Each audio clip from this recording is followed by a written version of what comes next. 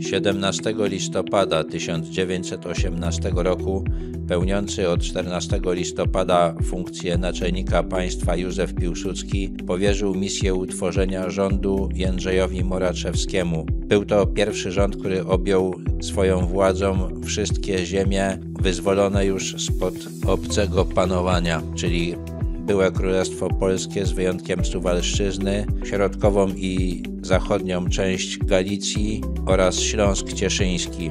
Początkowo premierem miał zostać Ignacy Daszyński, ale jego kandydatura wywołała wielki sprzeciw narodowej demokracji. Dlatego Piłsudski wyznaczył do tej funkcji Moraczewskiego. Postawił mu następujące zadanie. Panie kapitanie, ma pan zostać prezesem ministrów, ale pod dwoma warunkami. Pierwszy, by pan nie wkraczał swymi zarządzeniami w jakiekolwiek stosunki społeczne. Drugi, wypracuje pan w ciągu jednego tygodnia ustawę wyborczą.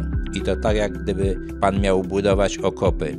Rząd Moraczewskiego przygotował ordynację wyborczą w ciągu trzech dni. Natomiast tego polecenia Piłsudskiego, aby nie wkraczać w stosunki społeczne, nie wykonał. Moraczewski wprowadził ośmiogodzinny dzień pracy, prawo do strajku, ustanowił Państwową Inspekcję Pracy, przyznał kobietom prawa wyborcze, zaczął formować milicję ludową, która miała zastępować policję i jednocześnie wojsko.